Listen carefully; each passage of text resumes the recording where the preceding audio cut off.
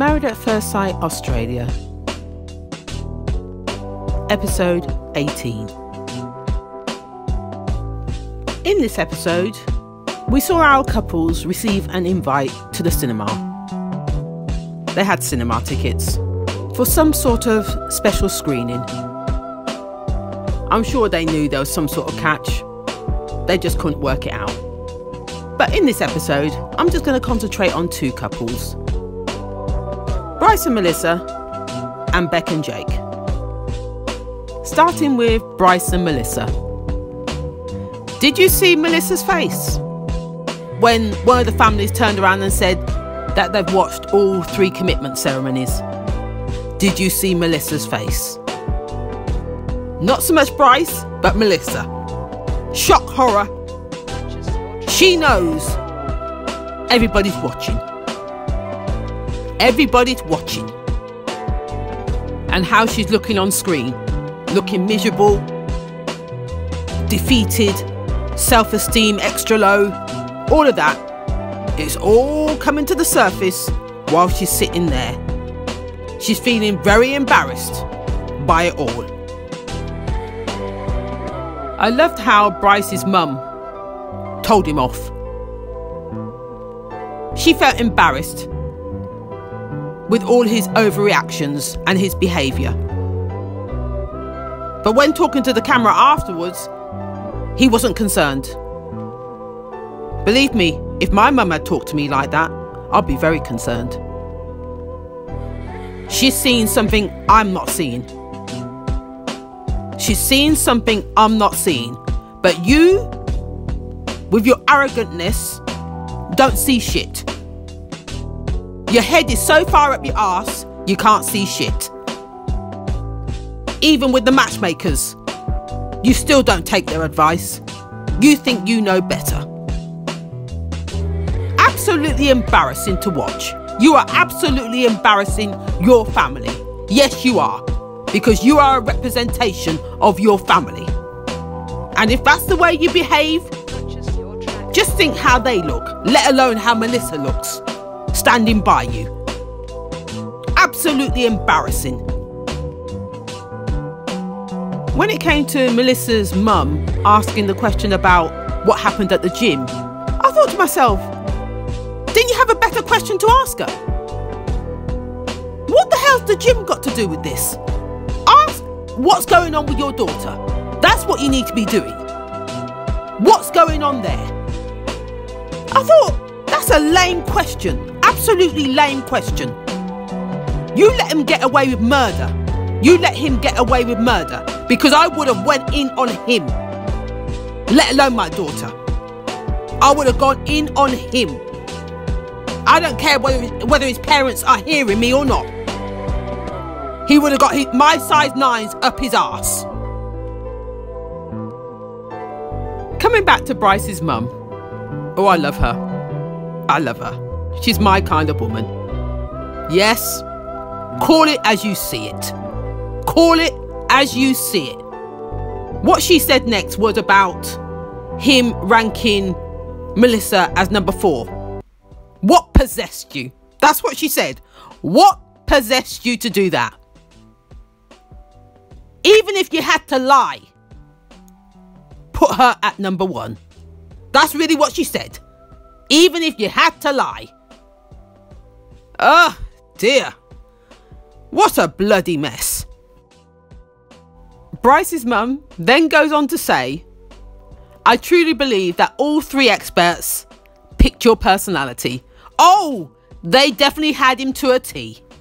They definitely had him to a T. She said he needed to listen. Take advice. He needs to listen. And then she turned around and said, that's where his immaturity comes in. He's immature. She had him right. The dad agreed too. As she said, he's at an age he needs to grow up. Yes, he needs to grow up. He's a big kid. And she continued to say, him puffing up his chest like the big rooster. He needs to stop that. Because you got you got Melissa sitting beside you wanted to support you. but feeling totally embarrassed. Yes, embarrassed. And to end it, she says, In all honesty, I don't know why she's still sitting next to you. Yes, that's what Mummy said about her own son. Call it as you see it. His mother gave him what for? Yes, I love her. I love her. I love her. And again, when he was talking to the camera, he tried to be very critical about his mum, saying that she hasn't seen the full story. So, as, fa- as far as he's concerned, it's going through one ear and coming out the other. You see? Arrogance. Arrogant, arrogant, arrogant. Ugh, I can't deal with somebody like that. No, no, no, no, no. And then when Melissa's sister was speaking, she was very concerned about how Melissa was. And she didn't like watching her face, her reactions. And she just wants to make sure she's okay. But when I look at Melissa's family, Melissa's like her mum. That's what I see. Melissa's exactly like her mum. Doesn't say much. The sister had more of a voice, I would say, there. But the mum, like mother, like daughter. I can see where Melissa gets it from. It was slightly disappointing to see. When speaking to the camera, Melissa said that her mother doesn't feel she's happy. And that she finds very disappointing, is upsetting. That's what she said. She respects her mum's opinion, but for her mum to see that, it upsets her. Now, when they got back to the apartment, Melissa turned around and said she was disappointed that all her family could see was the sadness. But when it comes to her making her own decisions, she really didn't care whether they liked Bryce or not. I'm old enough to make my own decisions. But really, are you? You haven't done a good job so far. The 12 year on and off relationship you had with the ex boyfriend, you haven't made any good choices, have you? And here we go again. You're with somebody that you shouldn't be with. Again, a bad choice. So, really? Do you really trust your own judgment? I'd rethink that. And Bryce, when talking to the camera, said he don't really care what anybody else thinks, what the matchmaker thinks. He doesn't care. It's all about him and Melissa. As long as Melissa accepts me, he's good. These two are a waste of time absolute waste of time. She's a mug. He's a control freak. This relationship is toxic. I notice when he talks to her about how he's feeling and he's never been happier, he says, he keeps fiddling around with his ring. When I see people do that, that's a nervousness. That's a lie he's telling. His body language says it all. I'll say no more. The next people we saw come for their cinema invite were Rebecca and Jake. Now, before I start on them, last night, supposedly, them two had an argument. It was something to do with Rebecca swearing at him and he didn't like the language. So they fell out. Not too sure what the argument was about in the first place, but that was the gist of it. He didn't like the swearing, so it got heated. So this is the temperament they're coming into the cinema with, with the argument from the night before still hanging in the air. They started their relationship on a clean slate the week before, if I do if I do remember. And now it's gone downhill again. Let me tell you, this is not going to improve. It is not going to improve. This relationship's going to be a roller coaster. And as far as I'm concerned, Jake, do yourself a favour and save yourself all this pain and get out. She is not worth your time. So, fast forward, these two eventually arrived at the cinema in their seats, ready to see the performance, only to be met on screen by their families. That was a shock. That was a shock. For Jake, he was nervous. You could see the nervousness in his face. Oh dear. Oh dear me. Rebecca put on her face for everybody like she normally does. Like I said, she reminds me of Ice Queen that left yesterday. What's her name? Jamie. Very much the same look. The families then told them that they had seen their last three commitment ceremonies. Yes, the last three. Ugh, dear, if you could see Jake's face. I know Rebecca doesn't have an expression because she don't really care. She thinks she's always in the right. She don't really care. When Beck's mum asked her how she was doing, she started going through the wedding day itself and how Jake shoved his tongue down her throat and how he objectified her, all that, yada, yada, yada. And then she started to get a little tearful as well at the same time, which got mum on the back foot. Oh, she knows how to play the game well. Oh, she does.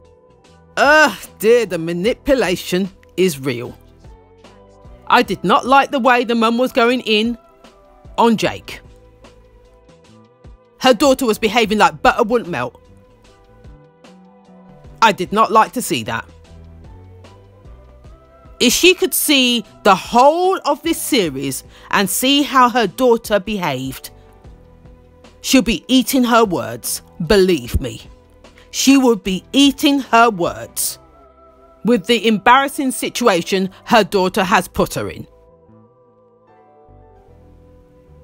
Becca's mother continued to badger Jake. Yep, she continued. I had enough of her already. Another one. Like mother, like daughter. Beck also agreed with her mum and started criticising Jake next to her about how he doesn't listen and he misses the words, something like that, she said. And then he started to give a list. So I missed the words, I'm Mr. Boring, I sucked the life out of you. And that's where Jake's mum stepped in. Yes, Jake's mum opened her mouth and said, If anybody's sucking the life out of anybody, it's her sucking the life out of you. She was talking to Becca, sucking the life out of him. Jake is not the same person that he went into the experiment as. She can see her baby boy having the life sucked out of him. Yes, she could. And after hearing that, Becca's mum decided to pipe up again. She weren't happy with what she just heard from Jake's mum. Oh, no, she wasn't. No, no, she wasn't. Her daughter can do no wrong. And with her being very opinionated, we saw Jake's sister try to intervene as well and talk on top of her. She hasn't had the opportunity to speak yet. But Becca's mum wanted to be heard. She wasn't hearing any of it. Doesn't that sound like somebody? Hmm. Becca. She likes her own voice, doesn't she? Same with her mother. I'm going to say it again. Like mother, like daughter. And as Jake said himself in front of the camera, she's a chip off the old block. Yep, She's a chip off the old block. It makes sense why Becca is the way she is. That's what Jake said. Those were his words. Those were his words. And I have to agree. The two families continued to talk over each other. Yep, it became about them. The next thing you saw was Becca saying, I came on here to find someone. And then Jake turned around and said, What? And I didn't? And then Becca turned around and said, You weren't even trying. How dare she? How dare she? From the word go, she didn't even try.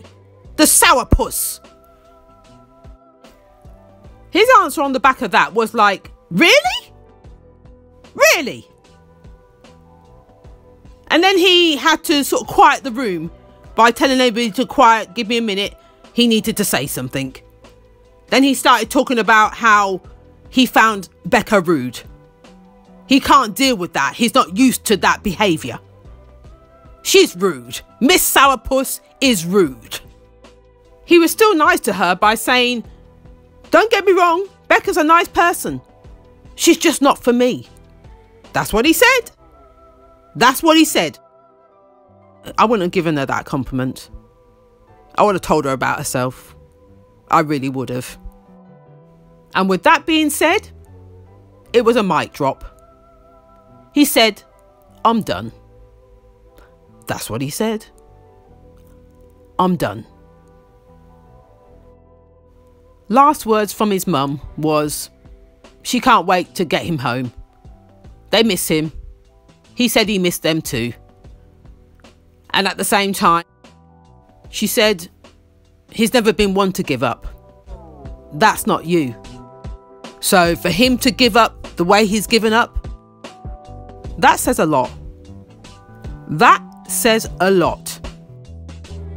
She has pushed his buttons too many times.